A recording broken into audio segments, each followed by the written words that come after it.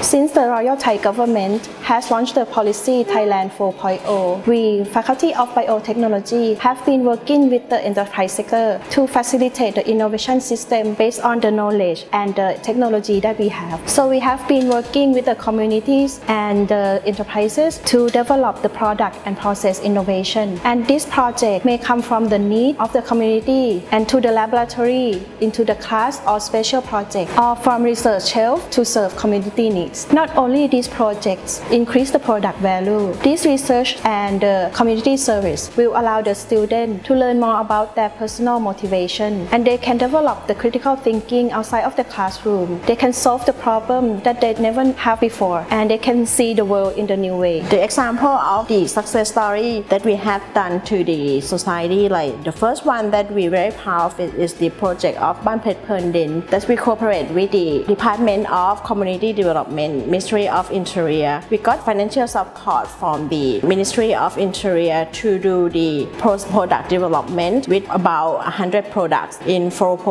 and we have keep the data record and we found out that it's about 30% of value has been increased and it's approximately about 25 million baht. Another project that Faculty of Biotech has been cooperated with the Ministry of Interior that is called OTOP Nawawiti. We have go to the local village and give the advice about how to extend the shelf life of product, how to combine their local identity with the product that they have and how to do the primary GMP. And then we has been go through more than 50 villages through over the Saraburi province. Faculty of Biotechnology also cooperate with other ministry as well. For example, we also work with the Ministry of Industry, like the Thailand project. Our team give the technical advice about innovation product, cooperate with the marketing team, make the marketing concept to be the real product. It's about 76 products all over Thailand. Last year, our team also get the